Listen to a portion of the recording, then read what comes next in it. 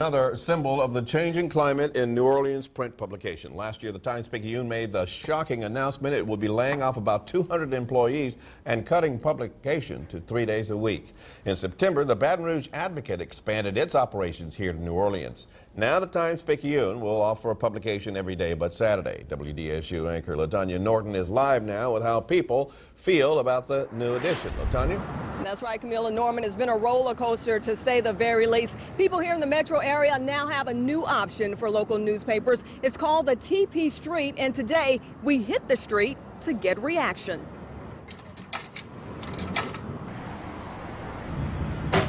I like it. It's convenient, small package.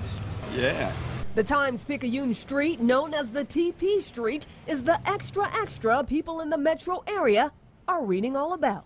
I'm pretty impressed by it actually. Uh, compact, small format, direct.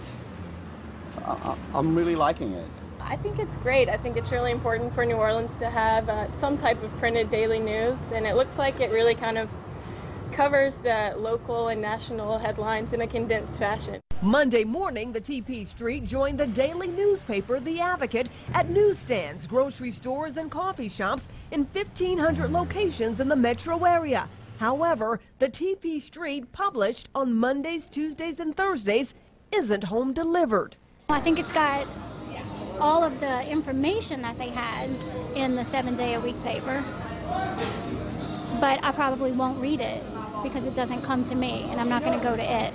I think more people want information from the Times-Picayune, and what we're doing is we're providing it to them as a street copy, also as an e-edition, which should satisfy those who are looking for a home delivery product. David Francis of the Times-Picayune says the TP Street answers the community's cry for more information. And this is one of the way we one of the ways we could satisfy that need for a content and a printed uh, product for them on a daily basis. So we're back to being a daily newspaper.